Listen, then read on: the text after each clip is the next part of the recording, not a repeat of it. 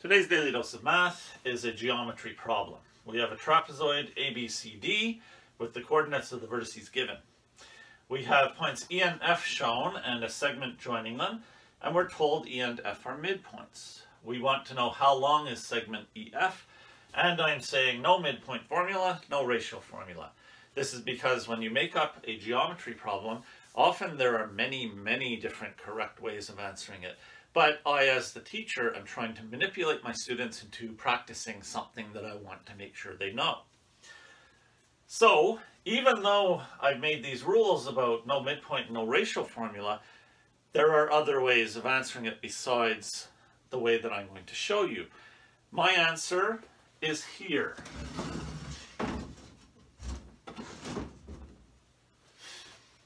I start with the distance formula, and I say distance formula. I'm justifying the math that I'm about to do by saying which formula I'm going to use. If a student doesn't write the phrase distance formula, but they have written this distance formula with none of the values filled in, I also accept that as justification. The distance formula is being used twice here, for the length of AB and the length of CD. And the length of AB is proven to be 6 units. The length of CD is 14 units. Then I'm adding those two lengths together and dividing by 2 and determining that the length of segment EF is 10 units. How am I doing that? I'm using principle 16. Principle 16 says that in a trapezoid, the segment connecting the midpoints of the two non-parallel sides is parallel to the two bases and is half the length of the sum of those two bases. And then I justify by saying principle 16.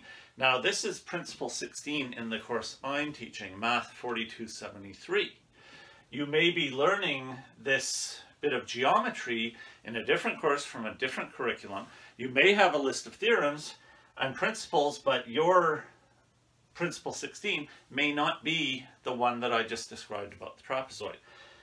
The student in the exam that I'm preparing students for with this video has a list of principles and theorems attached to the exam and they are allowed to say 16 instead of having to write out that whole long sentence that I said. Use principles and theorems as they are defined in your course. If you're doing Math 4273 in my class, you're safe to say Principle 16 right here. So this is actually a very simple little bit of math to find the length of segment EF. And that's the value of using these theorems and principles. They actually provide us with a lot of fast ways through problems. Another thing that I want to point out is a lot of people would have been able to figure out the length of AB and the length of CD without having to use the distance formula because of the coordinates that I gave, it would be a little calculation. But the thing is that if you're given a trapezoid with coordinates that are more complicated like this than this, perhaps including decimals, fractions, perhaps the bases are not horizontal lines, this will still work. And that is the value of being able to solve a problem in this way.